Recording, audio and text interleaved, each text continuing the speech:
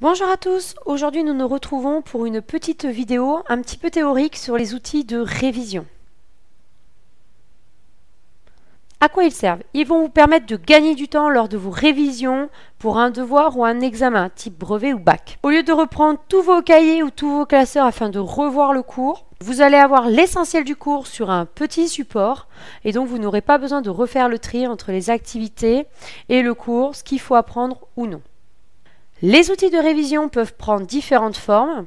Donc soit on a des fiches classiques écrites, sur par exemple les fiches Bristol. Soit on peut utiliser des schémas bilans. Si on a une mémoire plutôt visuelle, on peut faire des cartes mentales ou des Draw My Life.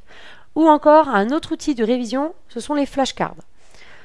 Dans une prochaine vidéo, je vais vous montrer comment à partir d'un cours, on peut décliner ces différentes formes d'outils de révision.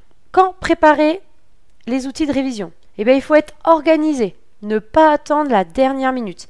il est important de les faire au fur et à mesure afin de ne pas paniquer juste avant l'examen car il y a trop de boulot. Il faut les faire à la fin de chaque chapitre, même si le devoir a lieu dans un mois. Il faut le faire maintenant parce que vous allez prendre de l'avance et du coup, vous serez efficace le jour J quand il faudra réviser. Pour les langues, on peut faire les fiches à chaque point de grammaire ou à chaque point de conjugaison pour se faire un espèce de petit classeur de survie, si bien que si l'enseignant vous demande de faire un travail, d'écrire, je sais pas, un texte sur euh, au futur, eh ben vous avez juste à sortir votre fiche sur le futur et vous allez pouvoir conjuguer plus facilement. Préparer les outils de révision. Premier point, il va falloir trouver un support pour pouvoir écrire. On peut le faire plutôt sur un petit cahier ou un petit carnet si on n'est pas très organisé et qu'on perd ses feuilles. Il y en a qui vont préférer les fiches Bristol, blanches ou de couleur. Il y en a qui vont préférer les feuilles A4, entières, pliées. Ça, c'est à vous de choisir selon votre sensibilité, selon ce que vous préférez. Il faut des stylos de couleur afin de mettre en évidence les notions clés. Et enfin, très important, il faut donc votre cours et le manuel. Le manuel, il est indispensable parce que ça va vous permettre de vérifier si vous n'avez pas compris quelque chose. Donc, il va vous clarifier certaines notions. Euh, dans, les manuels, vous allez trouver des schémas bilans ou des frises qui vont pouvoir vous aider à synthétiser votre cours. Premier point, lorsqu'on prépare des outils de révision, il faut du calme et de la concentration. Ça va vous permettre une meilleure mémorisation et donc un meilleur apprentissage. Sur vos outils de révision, il va falloir mettre des repères. Indiquer par exemple la classe et la matière.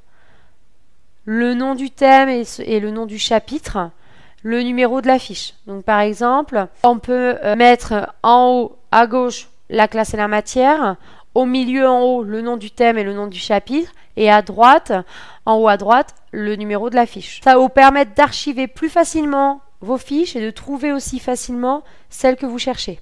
Une fois que les repères sont placés, on va pouvoir passer à la réalisation de l'outil. Pour cela, il faut avoir compris le cours pour pouvoir arriver à l'essentiel.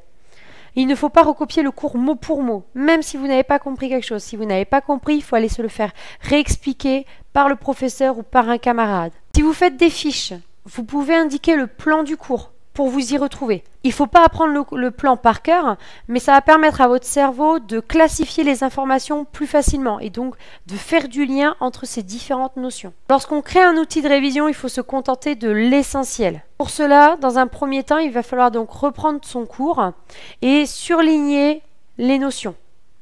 Une fois que ce travail-là est fait, votre cerveau va pouvoir repérer l'essentiel et donc faire du lien sur l'outil de révision. Pour les SVT, le mieux c'est de synthétiser avec un schéma bilan, parce qu'en une image, vous avez tout le cours. Point important aussi, ça va être de soigner votre outil de révision. Il faut qu'il soit propre, aéré, bien écrit avec de la couleur. Si l'outil n'est pas soigné, vous n'aurez pas envie de réviser. Petit conseil, pour cela, il va falloir créer son propre code couleur. Par exemple, le titre en rouge, les mots-clés en vert, etc., etc. Dernière étape, ça va être d'archiver vos outils de révision afin de ne pas les perdre. Comme ça, le jour J, vous serez efficace. Vous n'aurez pas à aller chercher à droite, à gauche, etc. Il va falloir donc trouver un système de rangement, donc soit dans un classeur, dans une pochette, peu importe, et les mettre toutes au même endroit. Toutes vos fiches pour une matière, par exemple, au même endroit. Bien sûr, si vous préférez avoir, euh, euh, si vous faites des fiches écrites, un classeur par matière, c'est votre organisation. Mais il faut les regrouper ensemble pour éviter de les perdre. Voilà pour cette petite vidéo un peu théorique sur comment préparer les outils de révision. Je vous retrouve pour une prochaine vidéo où je vais vous montrer avec un cas concret de cours comment faire pour passer une forme d'outil de révision à une autre. À bientôt